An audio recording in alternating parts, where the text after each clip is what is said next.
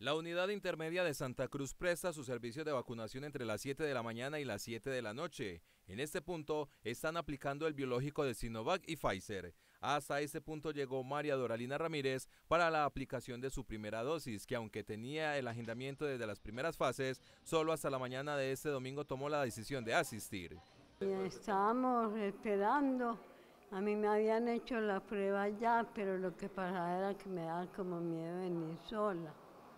A este proceso de inmunización, María Doralina fue acompañada por Valentina Ríos, que aunque no es familiar cercana, fue la que se encargó de convencerla de que asistiera y de explicarle la importancia del biológico para protegerse del COVID.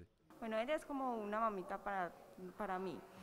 Entonces, pues al ver la necesidad de la vacuna, yo me puse a hablar con ella, le expliqué que no iba a pasar nada malo, que es algo normal, que todos debemos hacer. Ella sí se ranchó un poquito, pero ya después ella accedió y pues decidimos venir hoy, que es como un día menos concurrido para evitar las aglomeraciones y ya está vacunada, ya falta la segunda dosis.